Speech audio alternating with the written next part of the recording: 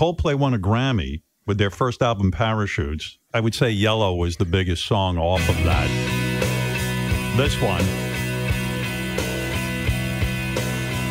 Look at the stars, look how they shine for you.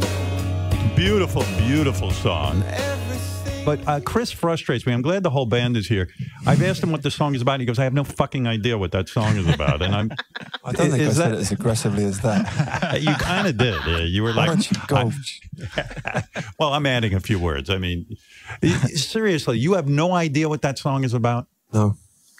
Really? It's a gorgeous song. It is. It's, it's a wonderful song. Um, Well, that's what, uh, if I may remind you, that when that song arrived, yeah. you and Johnny were playing FIFA or whatever that football game was okay. in the lounge Yeah. of the studio. And I came through and I said, hey, listen to this. And this is what you guys did. That's good, yeah. and then I remember, then I went to the bathroom and the chorus came through. And I was playing the chorus in the bathroom. And I came back and I said, hey, listen to this. And these two were like, yeah, that's good, yeah.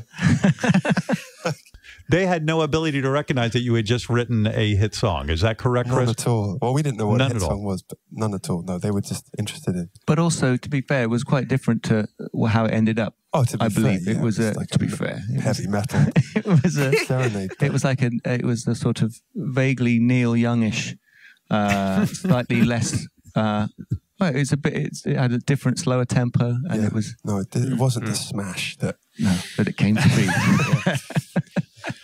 Will, are you too hard on Chris when he writes a new song? I, I do genuinely feel terrible a lot of the time about um, about having to say my voice my opinion on things, and it's difficult. And and I also have to have learned to to just keep quiet a lot of the time because as I know that I've been I've made some terrible mistakes in the past in terms Have of you- judging a song too too early. I said that song clocks. That's rubbish. That's not even a song. I think is what I said.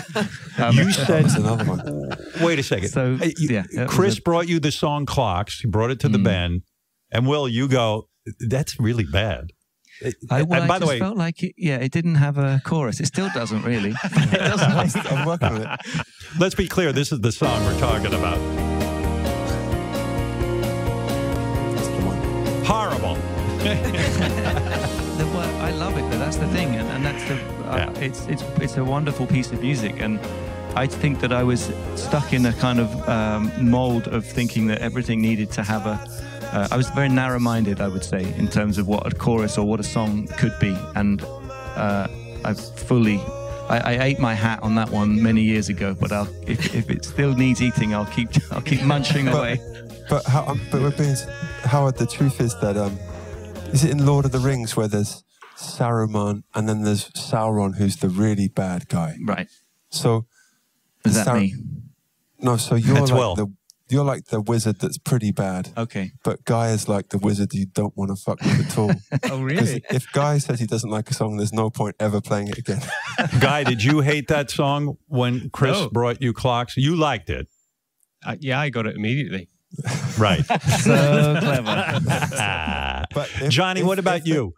What Well, was your think that- reaction? Uh, honestly, I think everything's going to be brilliant. I'm annoyingly positive about about everything. I have no filter whatsoever, so I just get ex- I just get excited when there's new music and uh, and want to play on it. Let's say you write a song and Will says to you, because he's so evil, he goes, This is a horrible song.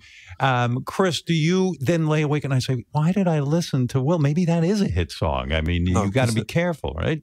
the truth is he's never guided us wrong. No- That's and right. That the balance of the four of us and Phil, our fifth, and, and whoever we're working with, it's like I trust that um, shape of things, and uh, I know that if if I really believe in something, I just got to keep keep chiseling away, and then at some point, if it's really good, Will will say, "Okay, that's that's good."